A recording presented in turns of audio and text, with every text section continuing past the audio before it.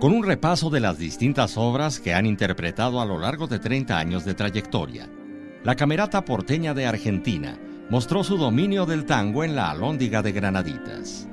En el marco del 44 Festival Internacional Cervantino, el ensamble condujo al público a los orígenes de este género musical a través de cada una de las piezas interpretadas.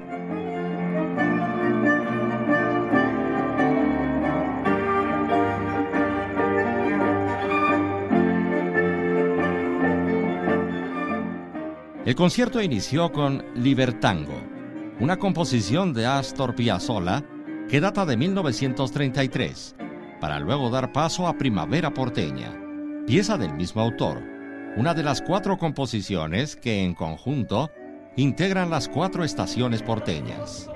El público suspiró con aire de nostalgia cuando el ensamble tanguero dio los primeros acordes de Invierno Porteño, última composición de Piazzolla, y que se inscribe en el mismo conjunto de cuatro piezas.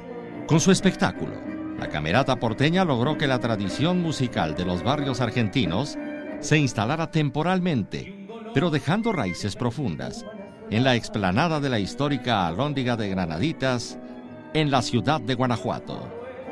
Con información de Juan Carlos Castellanos e imágenes de Raúl Monroy, Notimex.